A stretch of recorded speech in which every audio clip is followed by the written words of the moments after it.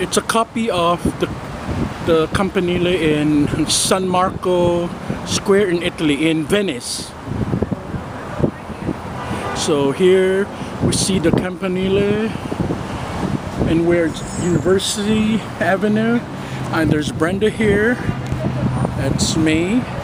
I'm walking around Shattuck, corner of University Avenue and we see the Campanile right there. Can't miss it. All the way back there. All right, here we come. Hasta la vista. Oh yeah, in the street. Okay. Yan?